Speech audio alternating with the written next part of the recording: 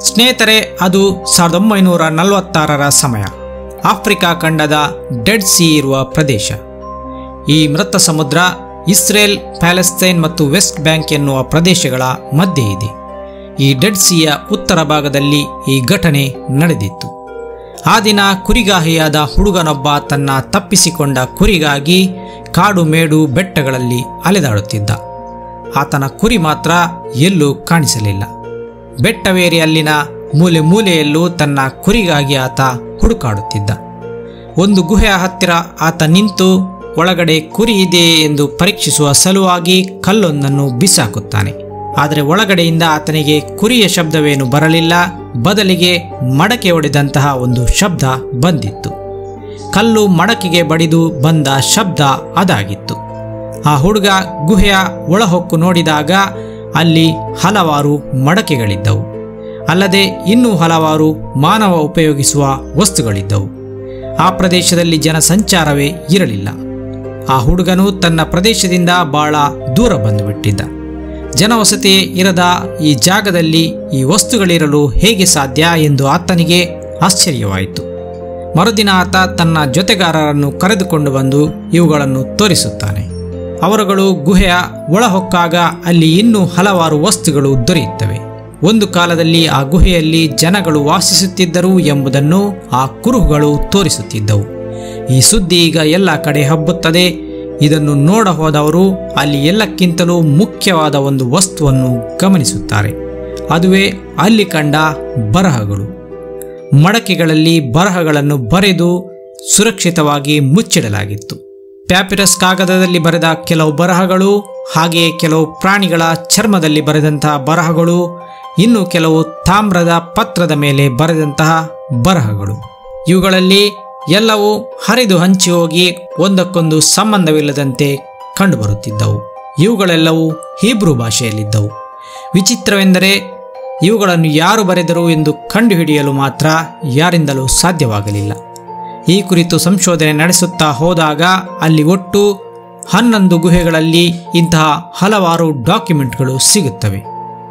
ಕುಮ್ರಾನ್ ಗುಹೆಗಳು ಎಂದು ಕರೆಯಲಾಗುವ ಆ ಗುಹೆಗಳಲ್ಲಿ ಸಾವಿರದ ಒಂಬೈನೂರ ನಲವತ್ತಾರರಿಂದ ಐವತ್ತಾರನೇ ಇಸುವೆಯವರೆಗೆ ಒಟ್ಟು ಎಂಟುನೂರರಷ್ಟು ಡಾಕ್ಯುಮೆಂಟ್ಗಳು ಸಿಗುತ್ತವೆ. ಇವುಗಳನ್ನು ಡೆಡ್ ಸಿ ಸ್ಕ್ರೋಲ್ಸ್ ಅಂದರೆ ಡೆಡ್ ಸಿಯ ಸುರುಳಿಗಳು ಎಂದು ಕರೆಯಲಾಗಿದೆ.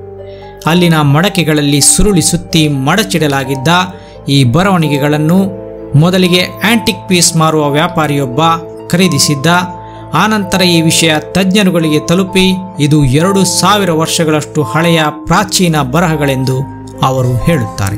ಟ್ರೆಜರ್ ಹಂಟರ್ಗಳ ತಂಡವೊಂದು ಆರ್ಕಿಯಾಲಜಿ ತಂಡದೊಂದಿಗೆ ಸೇರಿ ಅಲ್ಲಿನ ಹನ್ನೊಂದು ಗುಹೆಗಳಲ್ಲಿ ಇಂತಹ ಮಡಕೆಗಳನ್ನು ಪತ್ತೆ ಹಚ್ಚುತ್ತಾರೆ ಒಟ್ಟು ಎಂಟುನೂರಕ್ಕೂ ಅಧಿಕ ಬರವಣಿಗೆಗಳು ಕ್ರಿಸ್ತ ಪೂರ್ವ ನೂರೈವತ್ತರಿಂದ ಕ್ರಿಸ್ತ ಶಕ ಎಪ್ಪತ್ತನೇ ಇಸವಿಯ ನಡುವಿನದೆಂದು ಹೇಳಲಾಯಿತು. ಆ ಕಾಲದಲ್ಲಿ ಈ ಪ್ರದೇಶದಲ್ಲಿ ಯಹೂದಿಗಳ ಗುಂಪೊಂದು ಜೀವಿಸುತ್ತಿತ್ತು. ರೋಮನ್ ಪಂಗಡವೊಂದು ಅವರನ್ನು ಕ್ರಿಸ್ತಶಕ ಎಪ್ಪತ್ತನೇ ಇಸವಿಯಲ್ಲಿ ಸರ್ವನಾಶ ಮಾಡುತ್ತದೆ. ಹಾಗಾಗಿ ಈ ಕಾಲಘಟ್ಟದ ನಡುವಿನಲ್ಲಿಯೇ ಬರೆದ ಬರಹಗಳು ಇವಾಗಿರಬೇಕೆಂದು ಊಹಿಸಲಾಗಿದೆ. ಧಾರ್ಮಿಕವಾಗಿ ತುಂಬ ಆಳವಾಗಿ ಜೀವಿಸಿದ್ದ ಎಸ್ಸೆನ್ಸ್ ಎಂಬ ಯಹೂದಿ ಪಂಗಡ ಈ ಕುಮ್ರಾನ್ ಗುಹೆಗಳಲ್ಲಿ ವಾಸಿಸುತ್ತಿತ್ತು ಎಂದು ಹೇಳಲಾಗುತ್ತದೆ. ಈ ಬರಹಗಳಲ್ಲಿ ತಾಮ್ರದಲ್ಲಿ ಬರೆದಂತಹ ಬರಹಗಳನ್ನು ಬಿಟ್ಟರೆ ಉಳಿದೆಲ್ಲವೂ ಧಾರ್ಮಿಕ ಆಚರಣೆ, ಧಾರ್ಮಿಕ ವಿಚಾರಗಳಿಗೆ ಸಂಬಂಧಿಸಿದ್ದಾಗಿದೆ. ತಾಮ್ರದಲ್ಲಿ ಬರೆದಂತಹವು ಖಜಾನೆಯ ಕುರಿತಾದ ರಹಸ್ಯಮಯ ಮಾಹಿತಿಗಳು ಎಂದು ಹೇಳಲಾಗುತ್ತದೆ.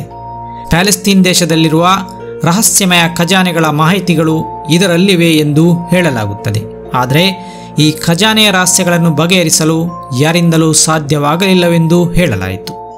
ಇದರಲ್ಲೂ ಇನ್ನೊಂದು ರಹಸ್ಯವೇನೆಂದರೆ ಕೆಲವರು ಈ ರಹಸ್ಯಗಳನ್ನು ತಿಳಿದು ಈಗಾಗಲೇ ಖಜಾನೆಗಳನ್ನು ಶೋಧಿಸಿದ್ದಾರೆ ಎಂದು ಹೇಳಲಾಗುತ್ತದೆ. ಈ ರೀತಿ ಖಜಾನೆಯನ್ನು ಶೋಧಿಸಿದವರು ಸಾರ್ವಜನಿಕವಾಗಿ ಅದನ್ನು ಎಲ್ಲೂ ಹೇಳಿಕೊಳ್ಳುತ್ತಿಲ್ಲವಾದ್ದರಿಂದ ಆ ಖಜಾನೆಗಳ ಬಗ್ಗೆ ಇದ್ದ ಕುತೂಹಲ ಇನ್ನೂ ಹಾಗೆ ಉಳಿದುಕೊಂಡಿದೆ.